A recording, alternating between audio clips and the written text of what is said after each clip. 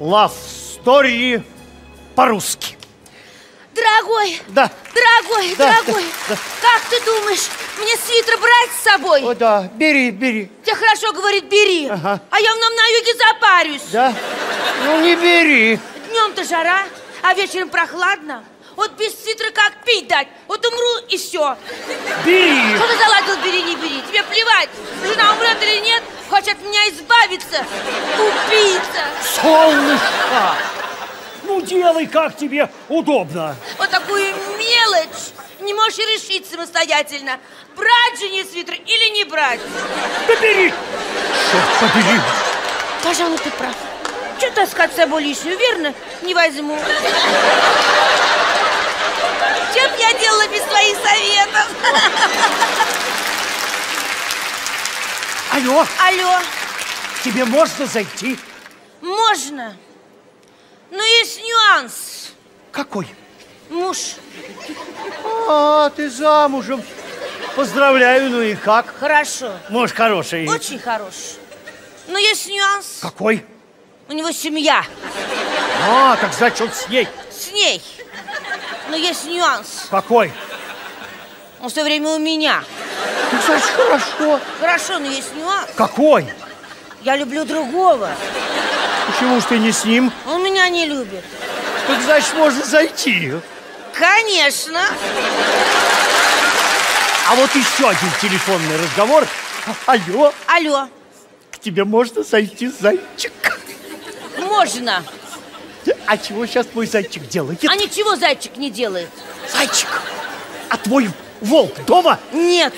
Дальше что? и не скоро придет. Нет. Дальше что?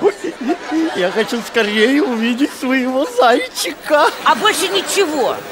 А что это зайчик сердится? Нет, но я так не могу.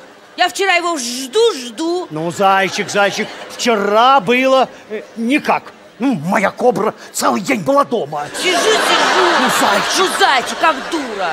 Зайчик, ты мой зайчик, я твой кто? Свинья. Я тебе сейчас прискочу. Зайчик хочет морковки. Хочет. Только не крепленый. А я сухой. Сейчас приеду к зайчику и дерну зайчика за ее длинные ушки. Это у меня длинные ушки. Ха-ха. Это у тебя короткие ножки. Ты что, зайчик, до сих пор сердишь, что ли? Нет, я так больше не могу. Надо что-то решать. Ну? Ты же знаешь, как он все чувствует. Ну еще. Вчера утром он встал с постели и говорит, постражи место, чтобы никто не занял. Я на секундочку. Зайчик, я не могу. Вот так вот сразу. Ничего себе сразу. Это длится уже год. Но, предположим, не год, только месяц. Это для тебя месяц. Нет, ты все-таки не мужчина. Я не мужчина.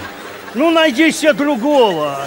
Птенчик, ты что опять тут? Птен- Обиделся. Птенчик, ты же знаешь, что я своего птенчика ни на что не променяю.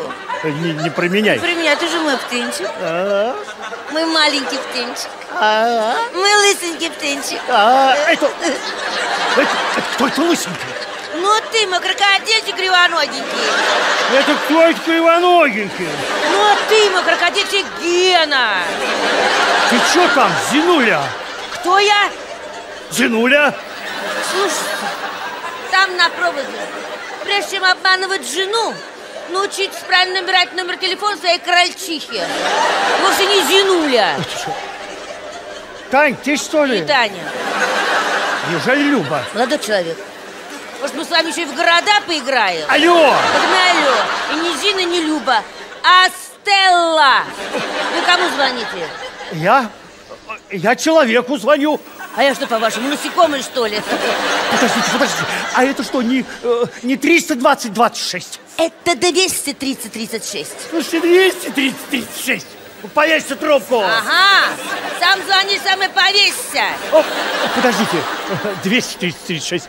А, а- а вас что, правда Стелла звать? А правда не Геннадий? Я, а, Значит, вы это не он. ну, значит, я это не он, а вы, значит, не она. Ну, раз вы не он, значит, я кто-то другая. Слушайте, 236. А можно я вам еще позвоню, а? Можно, только осторожно. А я осторожно.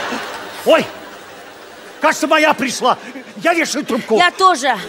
Пойду своему обед готовить. А, моя мне уже приготовила. У вас у мужиков, как у хомяков, одна задача. Пожрать, поспать и сдохнуть. Надо ж, как голоса похожи. Знаешь, как все мужики похожи.